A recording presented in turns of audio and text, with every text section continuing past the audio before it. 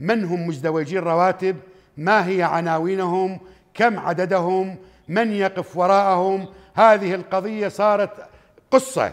نسمع بها ما نعرف تفاصيلها. اطلعنا عليها. صحيح. ألف رحمة الموتاك صحيح. أستاذ نجم خلينا نكون واقعيين. العراق أي. ما عنده قاعدة قاعدة بيانات إحصائيات ما موجودة. أي. اتصور يعني أبسط إحصائية ما يعرفون عدد الموظفين إيش قد. السيد وزير التخطيط صرح علنا. قال ما أعرف عدد الموظفين بالعراق إيش قد. ولا السيد وزير المالية يعرف.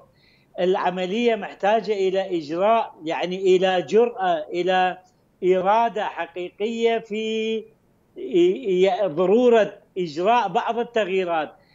المفروض يعني يبدون بعملية البايومتري يسوون إحصاء حقيقي لعدد زين الموظفين. زين زين دكتور هنا هنا أنا هذا الحديث سمعته قبل. لكن هنا إذا وزير المالية ما يعرف عدد الموظفين ووزير التخطيط ما يعرف عدد الموظفين زين شلون كانت تنزل أرقام بالموازنة؟ هاي تشغيلية وهاي رواتب. شنو هسه إحنا قلنا حكومة على الله ويا بشيرة. بس شلون كانت تنزل الأرقام بالموازنة؟